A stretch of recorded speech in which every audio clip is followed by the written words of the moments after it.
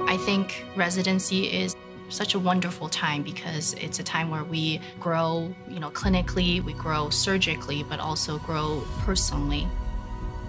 When I interviewed here, that was kind of the moment where I realized I think this is the place for me. The people I interview with made me feel comfortable, the resident seems happy, and everyone here is here for the same goal, which is to provide excellent care when I was a medical student, I did a rotation here after having seen a bunch of other programs. And to me, there was no other program that compared to Minnesota. So I was just blown away here by the autonomy that the residents had, how happy everybody seemed, how family oriented everybody was. So I basically just went on interviews to see if I could find an, another Mayo Clinic anywhere else, and I couldn't.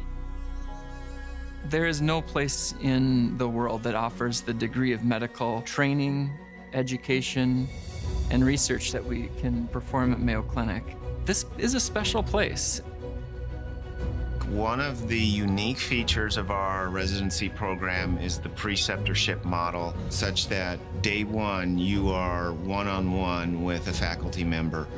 You are going to their clinic, you're making decisions on those patients, on who to operate on. You're going to their OR, you're taking care of those patients postoperatively, and you're seeing them back in follow-up. Another advantage of Mayo Clinic Urology Residency Program is that you really can do anything you want to do. You have six years to figure out what you love, what you're passionate about, so that you can go out feeling confident that you feel like there's nothing that you can't do when you're done. We don't just do robotics, we lead in robotics. We want to train you to be doctors, to be surgeons, to have our trainees focus on what they need to learn. And they need to learn the clinical and procedural portions of urology to truly excel. We want to train leaders in endoscopic surgery, in laparoscopic surgery, in image-guided focal therapies, and in open surgery. So it's critically important that our trainees have exposure to all of these different approaches. If somebody just came into the operating room once in a while, we wouldn't know what their skill level is. When I have somebody for eight, nine, ten weeks straight, I can really see where they start and teach them things to make them better as they go along. So by the end, every one of our trainees leaves here ready to hit the ground running, whether they're going off to fellowship to fine tune some skills or if they're going off to private practice. We have numerous opportunities to hone uh, your surgical skills outside of the operating room. We have simulation labs that expose residents to some of the innovative uh, procedures and cutting edge technology in urology. I think that people here will just push you. They'll know what your limits are, but they want to push you to become a better surgeon, a better person. They'll lead you through tough parts of the case. They'll let you struggle a little bit, but kind of figure things out as you're going along. In terms of research, you'll get as many opportunities as you're open to. Sometimes it'll stretch you, but it's all just to make you better. One of the strengths of Mayo's research program is, is, is its breadth. So typically what we do is we have our residents and fellows meet with various faculty to discuss research areas of interest, and oftentimes residents will choose multiple faculty as mentors for different types of research projects that they might find of interest to themselves.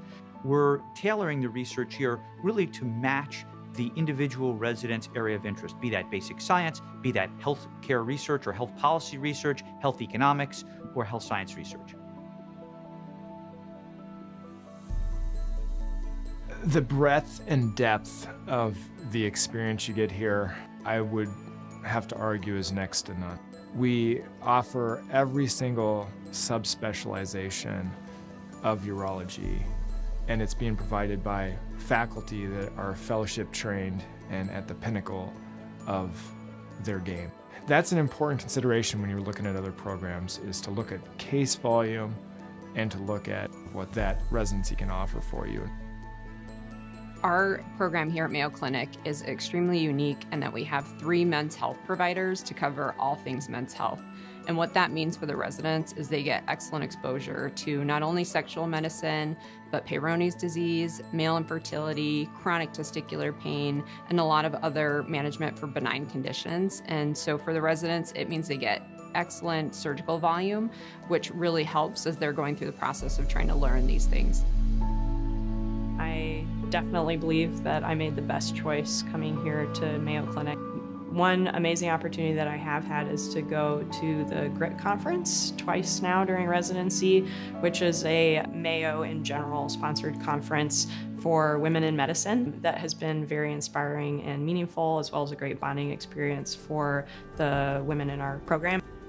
Resident wellness is extremely important, not just for work life balance, but for planning ahead. If you don't teach somebody how to incorporate personal wellness into their training program, they might struggle when they go off into practice, whether it's fellowship and academics or if it's in a private practice. So here, we really support developing a really wellness centric atmosphere, making sure that everybody's taking care of themselves. Because if you can't take care of yourself, then you can't take care of others.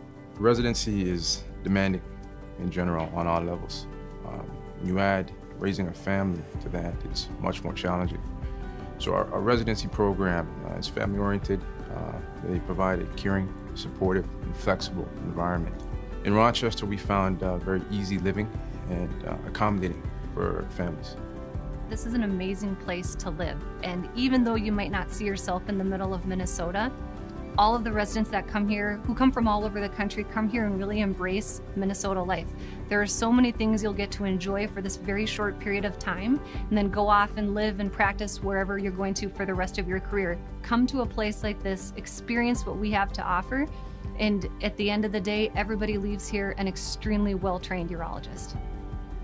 So, my best advice to give someone applying to urology this year is to relax enjoy the process and create friendships within this group because these are people that you'll be working with through the rest of your career. They say uh, time flies when you're having fun, right? Um, and this has been a, a fun ride so far. I would say the strength of our program comes from the, the faculty and the diversity of offerings that we provide our trainees with really the goal in mind that we prepare them to be outstanding clinicians, terrific doctors, great people, and leaders in the field going forward.